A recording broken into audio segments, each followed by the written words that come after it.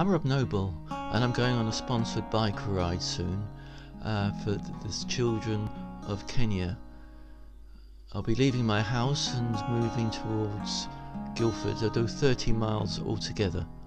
Over 22 years ago, it was my first visit to Kenya, one of three. With the church over there, I travelled to Naivasha to feed the street children. I was disturbed by what I saw. These images, which I photographed then 23 years ago, have stuck with me uh, and I will always stick with me throughout my life, I think.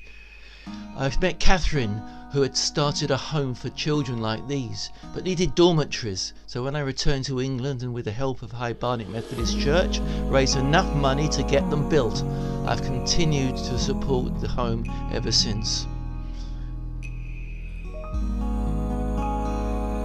These are the pictures uh, taken by Karen Hayes, a Canadian, two years ago when she visited. And things haven't changed, you know, they've still got smiles on their faces, they're still as happy as they've ever been. I've always had it in my heart, though, uh, to support the street children who actually roam the streets of Naivasha, as well as those who are taken into care by the Nema Children's Home to prevent them ending up there. I've discovered the Naivasha Children's Home Shelter. My name is John Kimani. I, I have 12 years. Where do you stay? We usually stay here at the street and we sleep here. Aha, hebu nionyeshe.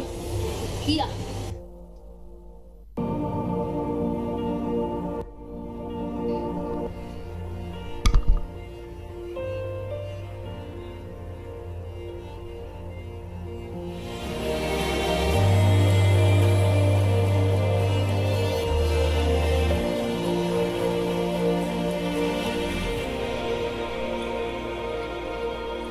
Want to go to shelter?